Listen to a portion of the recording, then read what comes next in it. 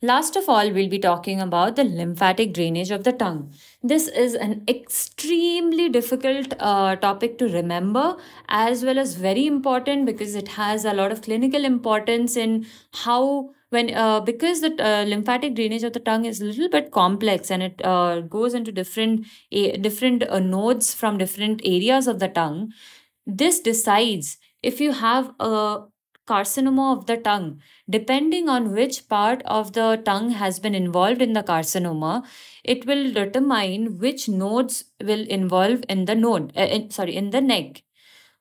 So, to know the spread of carcinoma of the tongue, depending on which part of the tongue has been involved, which neck node will be involved, first we have to know what is the lymphatic drainage of the tongue. So, uh, the lymphatic drainage, they consist of intramuscular and submucosal plexus and they get arranged in four sets. As you can see over here, this is the apical drainage, there is the marginal drainage, there is the dorsal drainage and there is the central drainage. So this is the drainage of the tongue. There are four groups. Now we'll talk about each group. The first group is the apical set. The apical set is responsible for draining the tip and the frenulum linguae and it terminates in three ways. The first most uh, common way, uh, some of the vessels they pierce the uh, muscle mylohyoid and they drain into the submental nodes. And a few vessels pass down in front of the hyoid bone and they drain directly into the jugulo-omohyoid nodes. So this is the main drainage. Some of them may pierce the mylohyoid and instead of draining into the submental nodes, which is the 1A lymphatic nodes, they drain into the submandibular nodes, which is the class 1B. I've spoken about the different lymphatic uh, levels of the neck in another video. You can check me out over there. And um, so this is the second pathway of drainage from the apical set. And the last pathway is a few of the vessels they can pass deep to mylohyoid and terminate in jugulodigastric or jugulo-omohyoid nodes. So this is about the apical set drainage. So if you see over here in the image, this is the apical nodes. Some of them drain into the submental nodes, which is right over here. Some of them go to the submandibular nodes over here, and some of them can go to the jugulo-omohyoid or jugulodigastric nodes. Next, we move on to the next set, which is the marginal set. Now, the marginal set of lymph nodes, they drain the side of the tongue in front of the sulcus terminalis. And they again have two different types of drainage. Some vessels can pierce mylohyoid and they drain into the submandibular nodes. And some vessels, they can pass deep to the mylohyoid and drain into the jugulodigastric and jugulo-omohyoid nodes. If you see over here in this image, this is the marginal nodes, which is basically draining the side of the tongue in front of the sulcus terminalis. This is the sulcus terminalis. And some of them, they will either go into the submandibular nodes, which is right over here, or some of them will end up going to the jugulo-omohyoid or the jugulodigastric nodes. Next, we come to the central set of lymph nodes.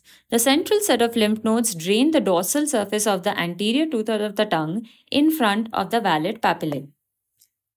These group of lymph nodes, they descend between the two genioglossus muscle and then they have two pathways. One pathway, they either go into the jugulodigastric or the jugulo-omohyoid nodes without piercing the mylohyoid muscle or the second pathway is when some of them pierce the mylohyoid and drain into the submandibular nodes.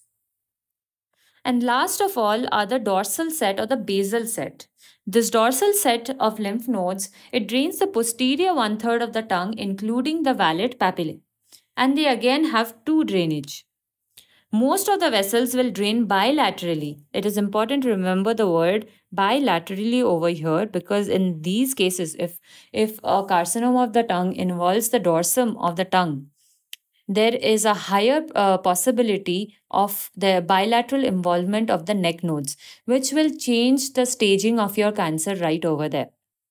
So most vessels will drain bilaterally into jugulodigastric nodes after piercing the pharyngeal wall and a lesser uh, pathway is one of the vessel passes downward behind the tongue and the hyoid, pierces the thyrohyoid membrane, and it drains directly into the jugulo-omohyoid nodes.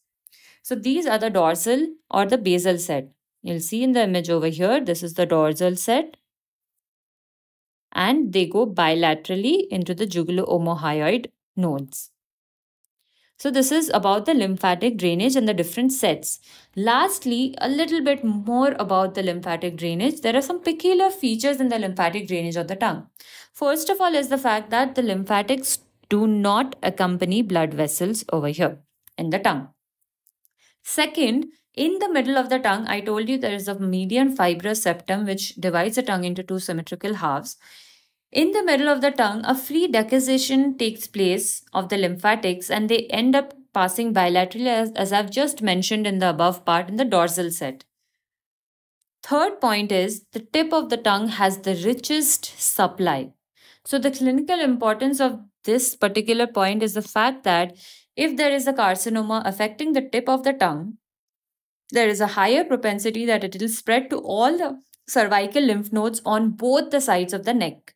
This is very important because this leads to a more severe stage of staging of the tongue carcinoma because of involvement of bilateral lymph nodes and most of the lymph nodes being involved.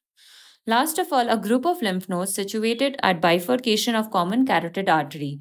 This is known as the principal lymph nodes of the tongue.